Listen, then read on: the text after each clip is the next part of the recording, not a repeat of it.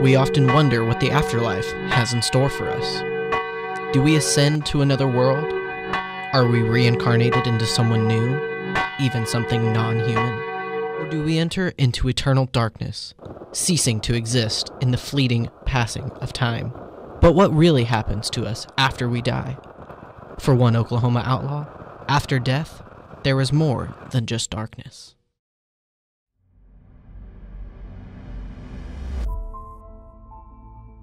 In the early 1900s, Elmer McCurdy and his posse were looking for a quick score. They had heard about a train traveling from Oklahoma to Kansas, carrying over $400,000 in cash as a payment to the Osage Nation. Riding up on horseback, they jumped onto the train and were surprised to find that this was the wrong train. Going up and down the passenger cars, they emptied everyone's pockets. At the end of the haul, they came away with $46, two jugs of whiskey, and the conductor's jacket. The police were alerted and were soon chasing after Elmer and his gang. The gang split up, Elmer taking the jugs of whiskey and hiding in a hayloft. The police surrounded the building, and a gunfight soon started. After exchanging rounds, Elmer McCurdy lay dead in the hayloft, a bullet wound to the chest. Elmer's body was taken to the Johnson Funeral Home in Pawhuska, where it remained unclaimed. Joseph Johnson uh, is the undertaker. He had like a, a, furniture store and coffins and did embalming and things like that. So um, they get him into his office.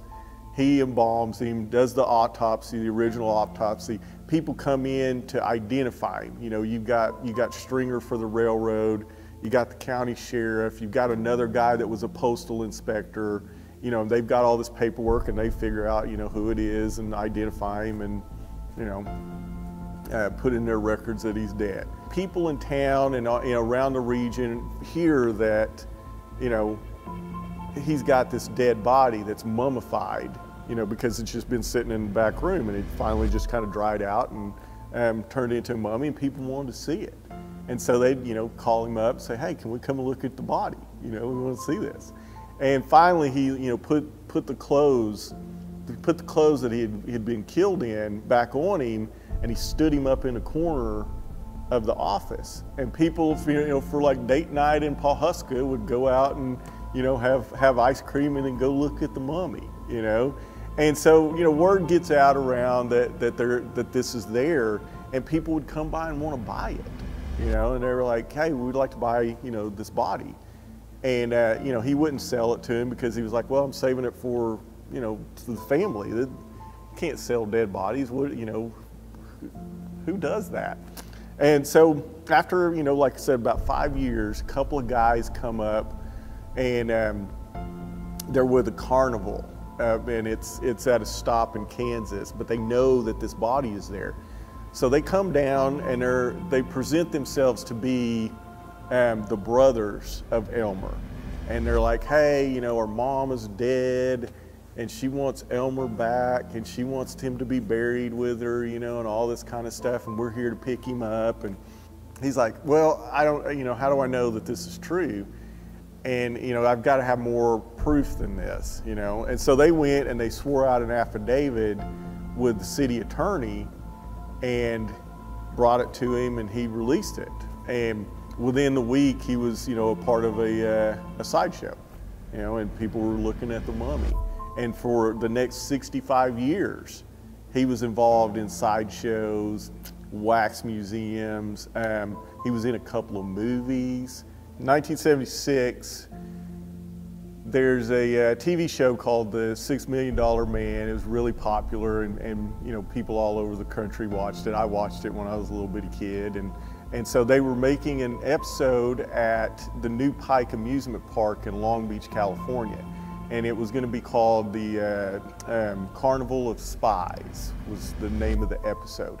And part of it was going to be shot in a uh, fun house, the Laugh in the Dark funhouse, and that was going to be kind of the uh, command center for the Russians, you know, in this in this story. So while they're setting up their shots, one of the guys bumps into this mannequin that's that's um, you know hanging from a noose you know, from the you know ceiling of the fun house. When he bumps into it, he knocks the arm off. So he reaches down, he picks the arm up, And when he does, he's looking at it and he notices that there's a there's a bone sticking out of it. And so he went to his, his friends, you know, that were, you know, there working also, and he's like, you know, is this a bone? What do you guys think?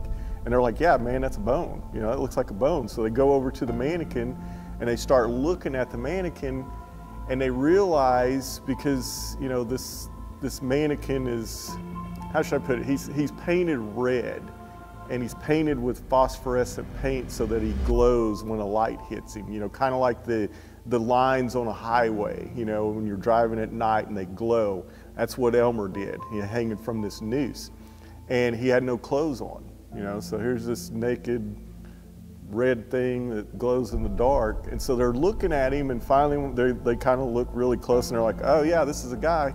They take him into uh, the LA County Coroner's office and they proceed to do an autopsy on the body. Well, once they, once they have him on the table and they're looking at him, they notice that he has these Y incision on his, on his chest and belly where he'd previously been autopsied.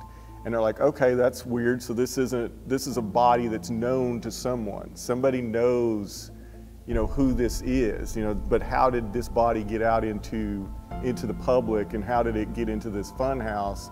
and why was it hanging from a noose? Another thing they're doing when they're, they're doing the autopsy, they take off the, the lower jaw and they're going to try to match dental records. Well, when they do that, their tickets start falling out of, of the mouth, tickets and, and nickels and pennies and things like that. And so they look at one of the tickets and it says um, the Louis Sonney you know, Wax Museum. So they try to find him, and of course, you know, at this point he's he's passed away and they find his son Dan and they call him and he's like, yeah, that's Elmer McCurdy. You know, we, my dad got him from Oklahoma. He loaned this man, you know, $500 and the, the mummy was collateral for this loan and he of course never paid back the loan, so we kept the mummy. Well, some, some guys in Guthrie, Oklahoma, all right? One of them, his name is Fred Olds. He was the director of the Oklahoma Territorial Museum. Um, another is a man named Glenn Shirley, who was a, uh, a writer during the, the 70s, 80s, and 90s. He wrote, he wrote books about Oklahoma lawmen and outlaws. And then there was another man, Bill Lehman, who was the editor of the Guthrie Daily Leader at the time. And so they're talking about this, and Glenn Shirley's like, I know who it is. It's Elmer McCurdy. I have a file on him. This is what happened to Elmer. And this is you know, and uh, they said they uh, that Fred got all excited about this, like, well, we should bring him here. You know, he should come back to Oklahoma and we should bury him. So whenever they find Elmer and they bring him, you know, they get him back here to Guthrie, they do it to coincide with 89ers Day. And so they have this big funeral procession that goes through town, you know, and he's in this horse drawn hearse. You know, it's got glass on the side so everybody can see it. They got people. Uh, they got people leading the procession on horseback, and they're carrying shotguns, and you know they're dressed as cowboys, and they got guns on their hips, and you know everybody's just just you know completely involved in this in this story, or you know in this event. I mean, this is a big thing. So they drive. Um, you know, they take him out to the uh, to the to the cemetery, Summit View Cemetery, and they've got it. They've got the you know the the grave dug. There's a there's a tombstone.